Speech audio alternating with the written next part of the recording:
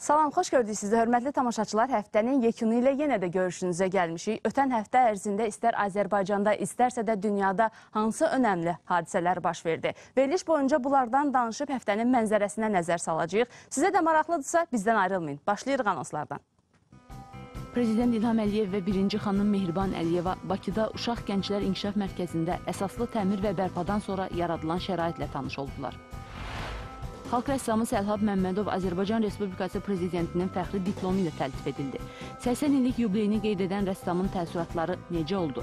Dövlət tərəfindən mədəniyyət xadimlərinin qiymətləndirilməsi ilə bağlı atılan addımlar hansı nəticəni verir? Mən ə, öz həmkarımla, Ali Badullarla xeyli işlər gördük. Əməkdar artist klarnet ifaçısı Vaqif Mirzəyev isə 70 yaşını qeyd etdi. Sənətkarın sənət yolu hansı hadisələrdə yadda qaldı? Ulu Öndərin vaxtında, Heydər Əliyin vaxtında demək olar ki, o məni çox ölkələrə göndərib. Mənə qrupa rəhbəri göndəriblər. Təfərrüatlar həftənin yekununda. Türkiyə tarixinin ən böyük kitabxanası, Millət Kitabxanası Türk xalqının həyatında hansı rol oynayır? Dünyanın ilk 20 milli kitabxanası siyahısında olan bu kitab mərkəzi barədə bilmək istəyirsinizsə, reportajı nəzərdən qaçırmayın. Avropanın müxtəlif ölkələrində açılan yeni sərgilər, incəsənət obyektinə çevrilən dəmir yolu vağzalının müasir görüntüsü həftənin yekununda.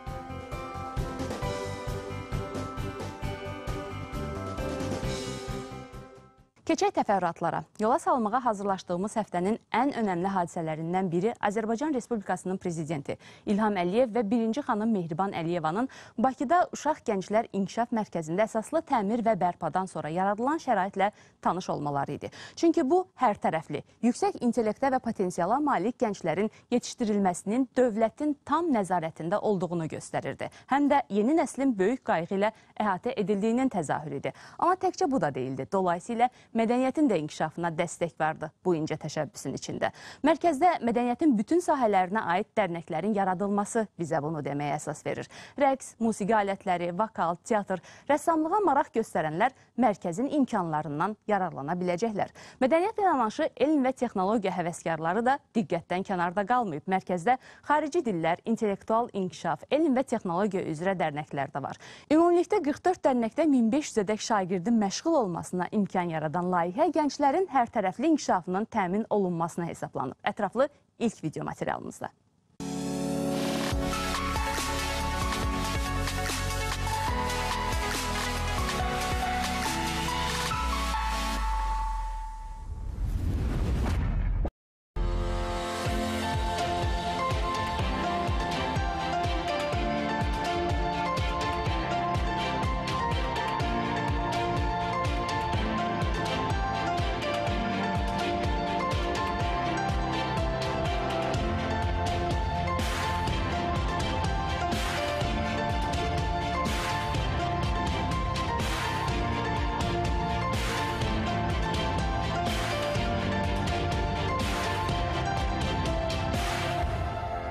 Ölkəmizdə müxtəlif sahələrdə müasir infrastrukturun qurulması diqqət mərkəzindədir. O cümlədən son illərdə yüzlərlə təhsil ocağı tikilib və ya əsaslı şəkildə yenidən qurulub. Onlardan biri də Uşaq Gənclər İnkişaf Mərkəzidir.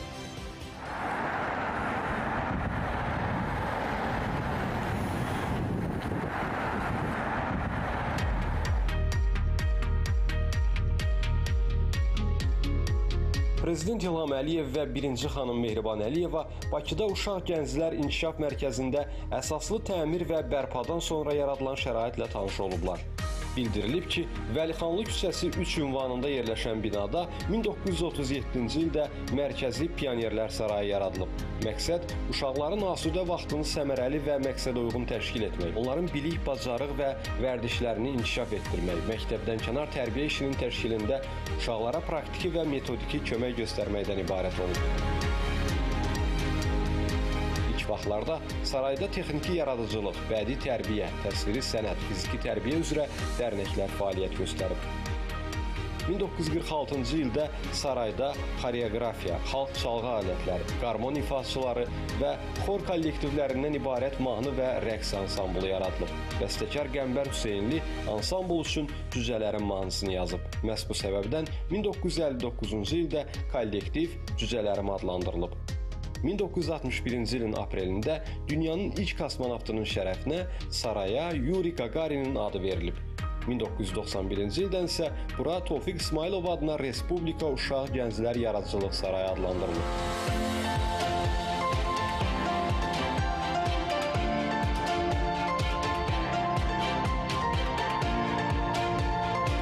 2016-cı ildən Təhsil Nazirliyi Respublika Ekoloji Tərbiyə və Təcrübəçilik Mərkəzi, Respublika Gənc Turistlər və Diyarşünaslıq Mərkəzi və Tofiq İsmailov adına Bakı şəhəri Uşaq Gənclər Yaradıcılıq Sarayı birləşdirilərək onların bazasında Uşaq Gənclər İnkişaf Mərkəzi yaradılıb.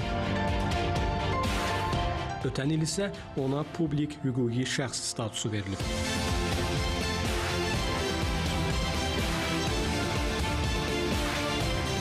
Dövründə minlərlə istedadlı gəncin müxtəlif ixtisaslar üzrə formalaşmasında mühüm xidmətləri olan mərkəz 2022-ci ildə əsaslı təmir edilib. İstifadəyə verildikdən sonra mərkəzdə rəqs, musiqi alətləri, vokal, sağlam həyat tərzi, teatr, rəssamlıq, xarici dillər, intellektual inkişaf, elm və texnologiya, ekoklub, psixologiya, kulinariya və turizm istiqamətləri üzrə 44 dərnək təşkil olunub. Həmin dərnəklərdə 1500 nəfərədək şagirdin məşğul olması nəzərdə tutulub. Həmçinin binada 20 inzibati, 20 texniki və 65 pedaqoji işçi çalışacaq. Mərkəzdə yüzlərlə şagird müxtəlif dərnəklərdə müxtəlif bacarıqlara yiyələnəcək. Belə bir mərkəzin əsaslı təmirdən sonra istifadəyə verilməsi dövlətin gənclər və təhsil siyasətini həm də ən müasir infrastrukturla dəstəklədiyini nümayiş etdirir.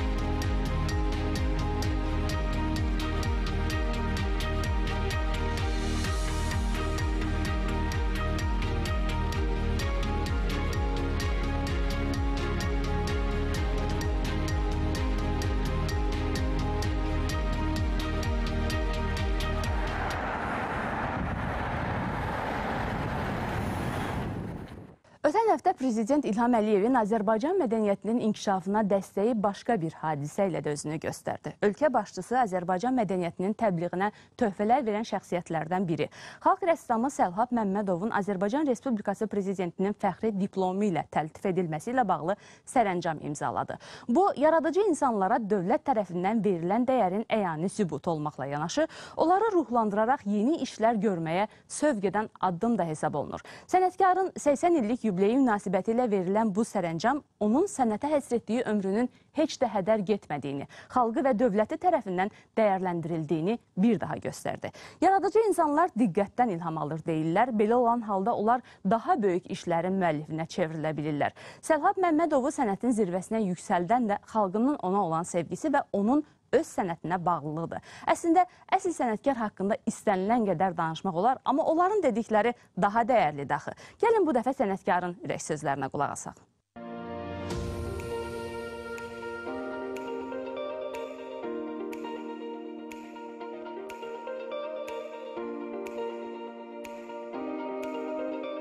Əsərləri dünyanın müxtəlif ölkələrində nümayiş etdirilən xalq rəssamı Sərhad Məmmədovun 80 illik yubileyində həmin əsərlərin ərsəyə gətirildiyi yaradıcılıq emalatxanasındayıq. Rəssamın 80 illik ömür yoluna birgə səyahət edəcəyik. Emalatxanada Səlhab Məmmədovun ömrünün müxtəlif mərhələlərinin izlərini görmək mümkündür. Çünki buradakı bütün əl işləri, sənət nümunələrinin ayrı-ayrı tarixçəsi var. Hər biri rəssamın uğurunun, nailiyyətinin təcəssümüdür.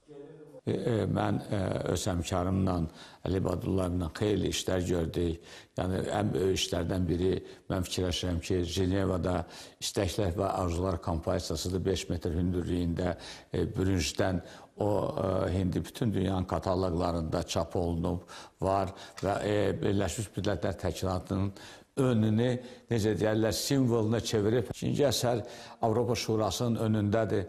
Romada Nizami Gəncəvinin heykəli, bilirsiniz ki, Nizami Gəncəvinin heykəlini Romada e, Park Bargezada qoymaq e, e, Azərbaycana və bizim bizə üçün böyük bir fəxrdir. Sənətkarın uğur hekayəsi bununla bitmir. Hələ adını çəkmədiyimiz çox sayda əsərləri həm müəllifi, həm də ölkəmizi dünyada təbliğ edir. Gənc rəssamlarda gəncliyini görən professor Səlhab Məmmədov həm də pedaqoq kimi fəaliyyət göstərir. Neçə-neçə rəssamın, heykəltaraşın yetişməsində əmək sərf edir. Mən Rəssamlıq Akademiyasında, həm də Rəssamlar İttifaqında gəncləri hər dəqiqə görürəm. Mən özüm gənc gəlmişəm Rəssamlar İttifaqına. Mən hər dəqiqə özümü onların yerinə qoyuram. Özüm fikirləşirəm ki, bax mən o devr gələndə kim mənə maniçi, maniçi olub, nədən məndə problem olub, nədən bu günlərim o problemi çalışıram onlar üçün yaratmayam. Fırçası bu gün də müəllifin düşüncələrini kətana köçürür. Elə hazırda da Kaktus adlı əsər üzərində işləyir. Səlhab Məmmədov deyir ki, hər tabloda öz ömrünün davamını görür. Bunu işləyirsən, bu qutarandan sonra yəni davamı gedir. Tablo bir tabloda ömrümü görə bilmirsən.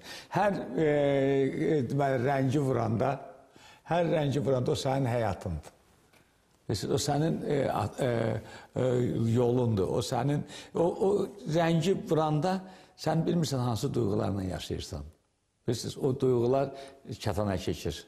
Ona görə də o sənin ömrün kətandadır, sənin ömrün heykəldədir, sənin özünün e, gildədir.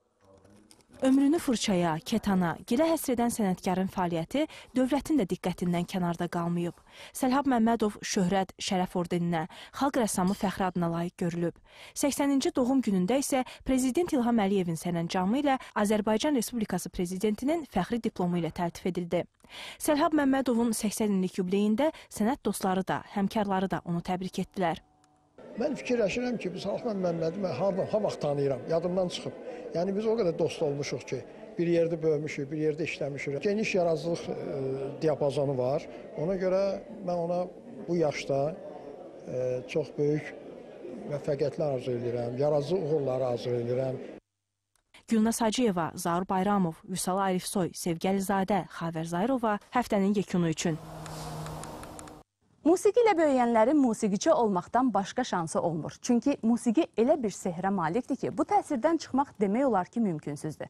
Əməkdar artist Vaqif Mirzəyev də musiqinin sehrinə düşənlərdəndir. Yalnız düşənlərdənmi? Yox, o həm də musiqinin sehrinə salmağı da bacaranlardandır. Mahir klarnet ifaçısı Azərbaycan musiqisini dünyada təbliğ edən sənətkarlardandır. Hər dəfə beynəlxalq festivallardan ölkəmizə uğurla qayıtması bizə bunu deməyə əsas verir. 1953-cü ilin qarlı, soyuq yanvar ayında dünyada dünyaya gələn Vaqif Mirzəyevin ötən həftə 70 yaşı tamam oldu. Klarnetlə ilk tanışlığı 7 yaşına təsadüf edir sənətkarın. 7-dən başlayan sevgi ürəyində elə dərin kök salıb ki, 70-də belə onu söküb ata bilmir. Eyni hərarətlə sevir sənətini. 63 ildir nə klarnet onu utandırıb, nə də o klarneti.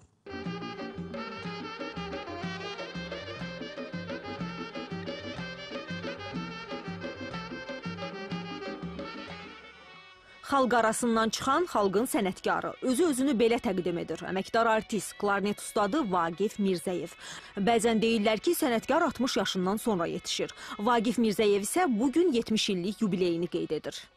Bizim ata nəslimiz hamısı musiqiçilərdir. Atam nağara çalan olub, babam xanəndə olub. Amma bizim evə çox sənətkarlar gəlib gedib. Ona baxmayaraq Allah rəhmət eləsin Şəms İmanovu. Mən onun vurğunu idim. O bizim evə gəlib gedəndən sonra mən klarnetə vuruldum necə. Demək olar ki, 7 yaşından o aləti mən əlimə gətirmişəm. O klarnetlə demək olar ki, gəlib Vaqif Mirzəyev olmuşam.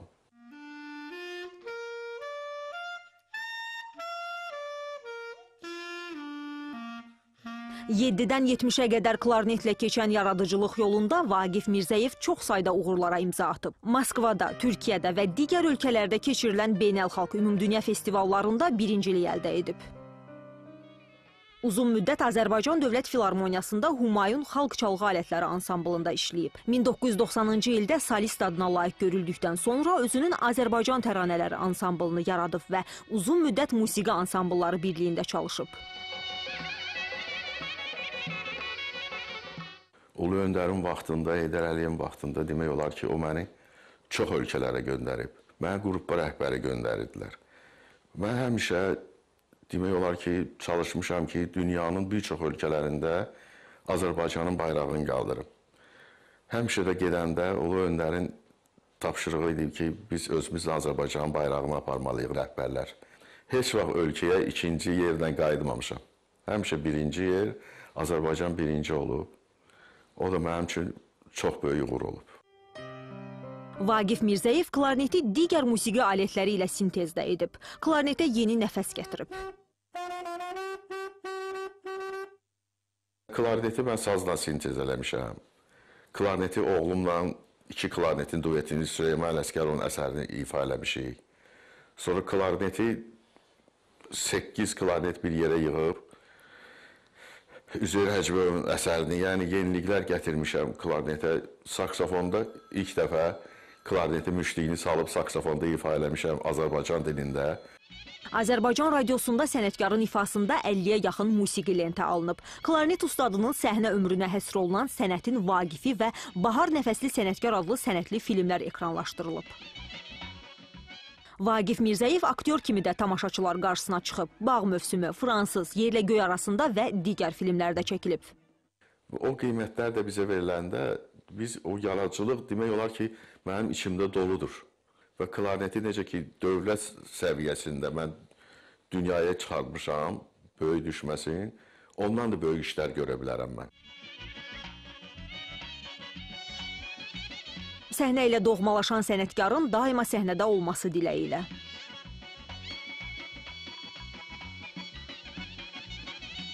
Gülnaz Hacıyeva, Kamran Soduyev, Sevgi Əlizadə, Xəyalə Quliyeva həftənin yekunu üçün.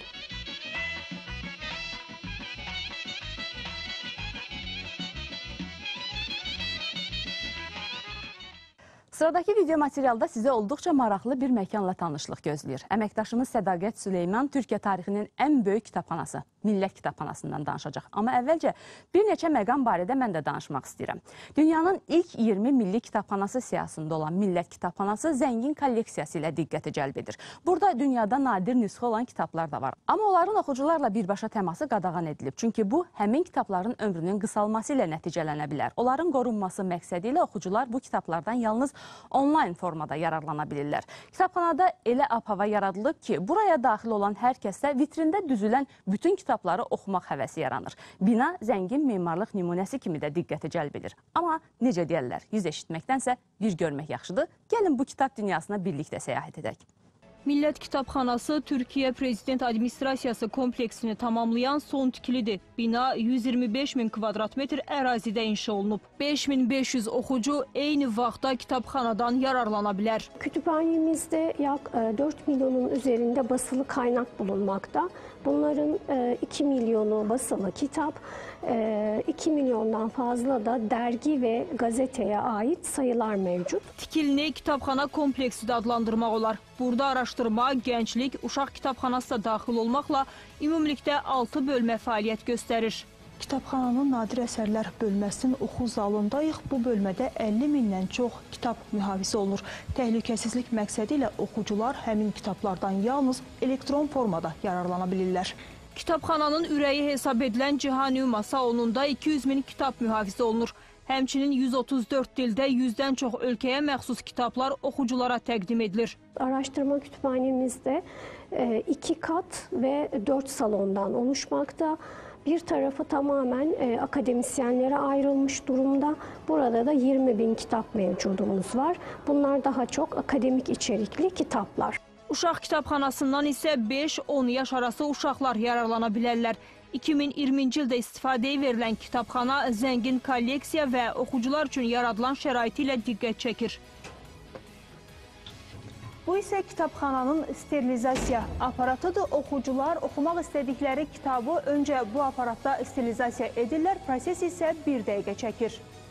Bir məqamı da xüsusi vurğulayaq ki, kitabxanada səssizliyə riayət etmək vacibdir. Elə bu səbəbdən oxuculardan müsahibələr təqdim edə bilmirik. Bir çox bölmələrdə isə çəkilişə icazə verilmir. Bir sözlə, oxucuların rahatlığı üçün bütün imkanlar yaradılıb. Gündəlik oxucu sayı 3-4 min şəxs arasında dəyişir. Həftə sonları isə bu rəqəm 10 minə yüksəlir. Sədaqət Süleyman, Elşad Həsənov, həftənin yekunu üçün. Türkiyədən söz düşmüşkən paytaxt Ankaranın gəzməli, görməli yerlərindən də danışmaq istərdik. Bəlkə də çoxları Ankaranın turistik şəhər olmadığı, burada maraqlı məkanların az olduğu qənaətindədir. Amma əməkdaşımız Sədaqət Süleyman tam fərqli fikirdədir. O, yüksəklikdə, dağın başında salınan bu şəhərin böyük tarixə şahidlik etdiyini düşünür. Ankarada Hamamönə adlanan tarixi bir küçə haqqında video material da hazırlayıb. Bu küçə qismən Bakının içəri şəhərini xatırladır. Tarixi binalar, Osmanlı dövrünə aid qəbir abidələri insanı sanki 100 illər əvvələ səyahət etdirir. Burada həm tarixi tikillər, həm də müasir hündür mərtəbəli binalar görmək mümkündür. Gəlin birlikdə baxaq.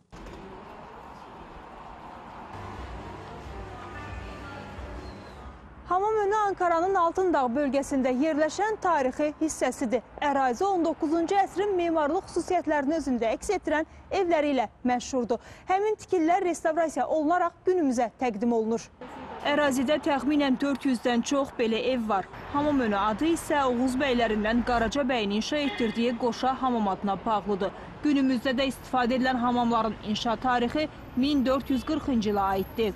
Hamamın önü ve arkasıyla adını alan bir bölgeden bahsediyoruz. Oldukça eski. Özellikle Cumhuriyet'in ilk dönemlerinde e, biliyorsunuz meclis buraya çok yakın ilk meclis. Meclisin hemen e, yakınında olduğu için de meclisin e, bütün parlamenterleri yani şimdi milletvekili dediğimiz o zamanın mebusları bu az sonra gezeceğimiz yerlerde yaşamışlar. İstiqlal şairi Mehmet Akif Ersoyun yaşadığı evdə burada yerləşir. Şair İstiqlal marşını elə buradakı evində qələm alıb. İndi onun evi muzey kimi öz qapılarını ziyarətçilər açıb. Ərazi Ankarada turistlərin diqqətini ən çox çəkən məkanlardandır. Ərazidə rəngarəng bəzək əşyalarının satıldığı dəzgahları, mağazaları da görmək mümkündür. Əsasən əl işlərindən ibarət məhsullara turistlərin marağı yüksəkdir. Sənət küçəsində isə çox sayda sənətçiyə məxsus emalatxana fəaliyyət göstərir. Müxtəlif sənət sahibləri burada onlara yaradılan imkandan yararlanırlar. Burada tabii birçok e, sanatçı var. Birçok sanat dalından, geleneksel sanatlardan insanlar var bu sanat sokağında. Ben resim olarak e, işte temalı sergiler yapıyorum. Qumda bişirilən qəhvə isə yerli və xarici turistlər üçün əvəz olunmaz daddır. Türk insanını burada her türlü kahveyle gerek turistleri gerek Türk turistleri burada ağırlama fırsatı buluyoruz. Ağırlama şansı yakalıyoruz. Elimizden geldiği kadar da memnun etmeye çalışıyoruz.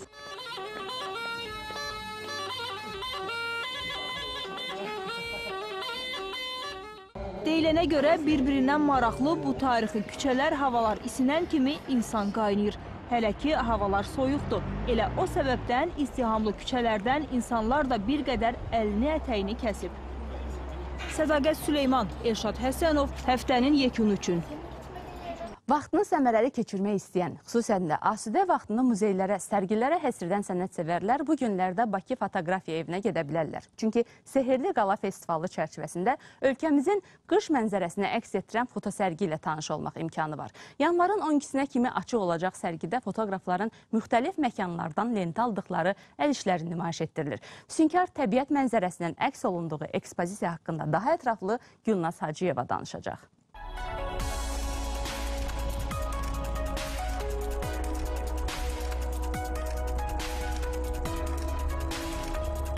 Qışın fotolarda dondurulan anları, qarlı örpəyə bürünən təbiət. Bu mənzərələr Azərbaycanın qış gözəllikləri sərgisində nümayiş etdirilir. Burada insan təbiətə fotoqrafların gözü ilə baxır.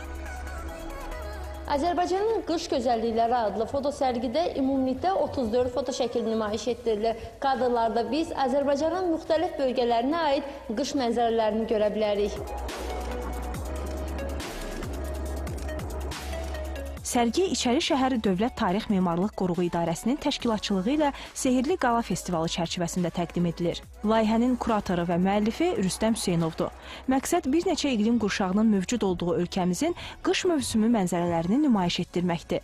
Həmçinin əhalinin diqqətini Azərbaycanın təbiətinə yönəltmək, gənclərin mənzərə fotoqraflığına marağını artırmaq və bu istiqamətdə istedadlı müəlliflərə dəstək olmaqdır. Sərgidə alpinizm bacarığı olan fotoqrafların hündürlükdən çəkdikləri kadrlar xüsusilə maraq cəlb edir. Yanvarın 12-sinə qədər açıq olacaq sərgi ilə Bakı Fotoqrafiya evində tanış olmaq mümkündür. Gülnaz Hacıyeva, Zaur Dadaşov, Xavər Zayrova, Sevgəlizadə həftənin yekunu üçün. Növbəti video materialda isə Avropanın müxtəlif ölkələrində açılan yeni sərgilərdən xəbər tutacaqsınız. Həmçinin incəsənət obyektinə çevrilən dəmir yolu vağzalının müasir görüntüsünə tamaşa edəcəksiniz. Finlandiyanın paytaxtı Helsingidə keçirilən ənənəvi İşıq festivalından da xəbərimiz var. Dünyanın müxtəlif ölkələrindən istedadlı rəssamların audio və video instalyasiyalarından təqdim edildiyi festival və digər maraqlı mədəni hadisələrlə maraqlananlar ekrana yaxın əyləşsinlər.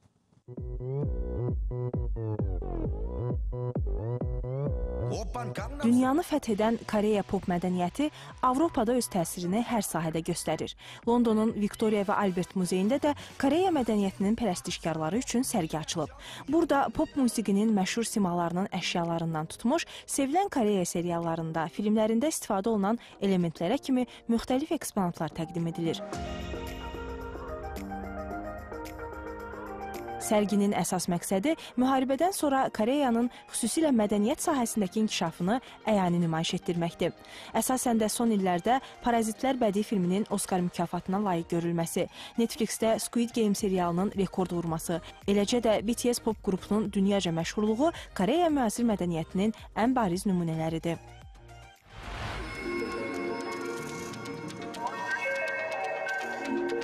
Almaniyanın Potsdam şəhərindəki Barberini muzeyi yenidən qapılarını ziyarətçilər üçün açıb. Bu dəfə sənətsevərləri sürrealizm və sehr, heyran edən müasirlik sərgisi ilə qarşılayan muzeydə ezoterika və mifologiya əsas mövzudur. Ekspozisiyada Giorgio de Chirico'dan Max Ernst kimi bir çox rəssamın metafizik tablolarını görmək mümkündür. Salvador Dali, René Magritte, Ronald Penrose kimi məşhur fırça ustaları ilə yanaşı 15 ölkədən müxtəlif sənətkarların 1914-1987-ci illər ərzində kətana köçürülən əsərləri təqdim edilir. Sürrealizm və sehir sərgisi yanvarın 29-na kimi açıq olacaq. Fransız rəssam, Parisin Palais Royalındakı sütunları ilə məşhur olan Daniel Buren Belçikadakı dəmir yolu vağzalını incəsənət obyektinə çevirib. Liyeş şəhərində Belçika-Fransa qatarlarının yola düşdüyü müasir görünüşlü vağzal rəngbərəng işıqlara bürünüb. Belə ki, İspaniyalı memar Santiago Calatravanın unikal layihəsi olan vağzalın fasadı üzərində müxtəlif rənglərdə şəffaf plastik örtüklər yapışdırılıb. Bu da günəşli günlərdə binanın interyerinə xüsusi atmosfer qatır. Rəssamın sözlərinə görə installyasiyanın hazırlanması üçün 5000 plastik örtük istifadə olunub.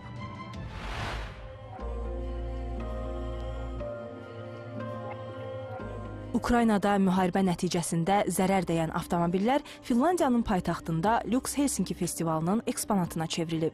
Çex dizayneri Maksim Veçskinin layihəsi əsasında döyüşlər zamanı vurulan, partladılan və yandırılan avtomobillərin qalıqları işıqlandırılaraq nümayiş etdirilir. Ümumilikdə 4 avtomobil təqdim edilib. Onların hər birinin yanında avtomobil sahibinin haqqında hekayə qeyd olunub. Hekayədə eksponat və onun sahibinin gündəlik həyatından, həmçinin avtomobilin hansı şəraitdə yanmasından danışılır. Bu eksponatlar hadisələrin sadəcə rəmzidir. Layihə rəhbərinin fikrincə, burada başqa nümunələr də ola bilər. Əsas məqsəd müharibənin dəhşətləri və onun nəticələrini təqdim etməkdir. Döyüşlərin, müharibənin insanın həyatını necə anidən dəyişdirdiyini göstərməkdir. Lux Helsinki rəssamlara layihələrini təqdim etmək üçün Finlandiya paytaxtının məşhur abidələrindən və ictimai məkanlarından istifadə etmək imkanı verən Şəhər İncəsənəti və İşıq Qurğuları Festivalıdır. Ənənəvi olaraq təşkil edilən festival bu il yanvarın 8-nə kimi davam edəcək. Xavər Zayrova, Sevgəlizadə, həftənin yekunu üçün. Ötən həftə 1899 serialının izləyiciləri üçün üzücü oldu. Netflix yayın platforması bu çox serialı ekran işinin yeni seriallarını çəkməkdən imtina etdi. Xəbər tamaşaçılarla yanaşı serialın yaradıcı heyəti üçün də ürəkaçan olmadı. Kino sahəsində daha bir ilkə isə Rusiyalı kino rejissor kosmosda ilk filmi lentə almaqla imza atdı. Çağırış filminin video çarxı böyük maraqla qarşılandı. Azərbaycan kinoteatrlarında isə Rafadan Tayfa, Galaktik Tayfa adlı 3-cü türk cizgi filminin nümayişinə başlanıldı. Bütün bunlarla bağlı daha ətraflı son video materialda.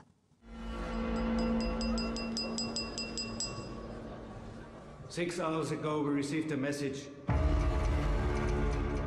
We believe this comes from the Prometheus. You think the passengers, they're still alive? Netflix yayın portalı 1899 serialının çəkilişlərini yeni mövsümdə davam eləməyəcək. Düzdür, əvvəlcə müəlliflər hekayəni 3-cü mövsümdə bitirməyi planlaşdırırdılar. Lakin Netflix 1-ci mövsümdən sonra serialın çəkilişini dayandırmaq qərarına gəlib. Bu barədə açıqlamanı şounun yaradıcıları Baran Boodur və Yanti Freeze Instagram səhifələrindən post paylaşaraq bildiriblər. Onlar pərəstişkarlarından üzr istəyiblər. Bunun milyonlarla pərəstişkarımızı məyus eləyəcəyini bilirik.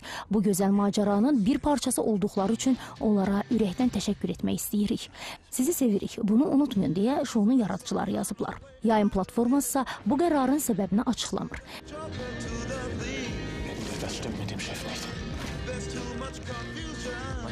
Serial 1899-cu ildə Böyük Britaniyanın Southampton şəhərindən Amerika Birləşmiş Ştatlarının New York şəhərinə səyahət edən bir qrup Avropalı mühacirdən bəhs edir. Onlar yeni həyata başlamaq üçün Kerbos adlı buxar gəmisi ilə səfərə çıxır. Hadisələr də bundan sonra başlayır. Mientras intentamos esconder quién somos.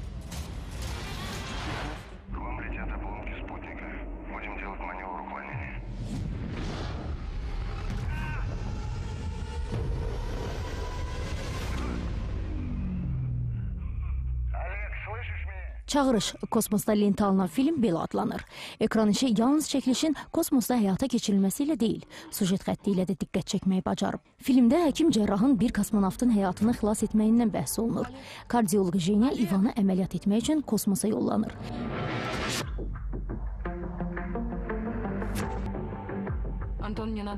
Ekran işində kosmonavtın səhhətində problem yaranıb. O qeyri-müəyyən səbəblərdən huşunu itirib və yerə qayıda bilmir. Tibbi yardıma ehtiyacı var. Bəs görəsən Jenya İvana kömək eləyə biləcəkmi? Ну, в этих условиях ты промыла плевральную полость. Больше ты ничего там... Это что значит? Dram janrında çəkilən bədii filmin rejissoru Klim Şpenkodur. Əsas rollarda aktrisa Yuliya Sergeyevna və Rusiyalı kosmonavt Anton Şkaplerov çəkilib. Yaradıcı heyət kosmik gəmi ilə kosmosa yollanıb və orada çəkilişlər 12 gün davam eləyib. Filmin premyerası aprelin 12-sində baş tutacaq. Uzaylılar var mı? Varsa nerede? Bana yardım edeceksiniz değil mi? Bu soruyu duymamış olayım. Azərbaycan kinoteatrlarında Rafadan Tayfa, Galaktik Tayfa 3-cü türk cizgi filmi nümayiş olunub. Macəra və komediya janrında çəkilən cizgi filmində Astronomiya Dərnəyinin ən parlaq üzvlərindən biri olan Akın orbitizmə yaxınlaşan kosmik gəmini kəşf edir. O bir anda dünyanın gündəminə düşür. Kosmik gəmi ilə bağlı bir çox xəbərlər dərc edilərkən, çoxsaylı nəzəriyyələr irəli sürülərkən, bu kəşfdə kiçik rolu olan Hayri də biraz şöhrət qazanır. Varsa nerede? Elə bu vaxt Hayrinin qəzetlərdə dərc olunan fotoşəkilləri gəminin əsl sahibinin, yəni yad planetlinin diqqətini çəkir. Biz kayıp kardeşimizi arıyoruz. Bu sirli, lakin sevimli yad planetli Hayrini tapıb ona kömək etmək istəyir. Yeni dostunu tapmaq üçün yola düşən yad planetli pis niyyətli bir qrup insan tərəfindən izlənildiyindən xəbərsizdir. Görəsən o bu vəziyyətdən necə çıxacaq? Hay bin galaktik. Qeyd eləyək ki, cizgi filmində baş rolları aktyorlar Levent Kol, Emine Sergən, Yağmur Sergən və Şirin Göbi səsləndiriblər. Cizgi filminin rejissoru İsmail Fidandır.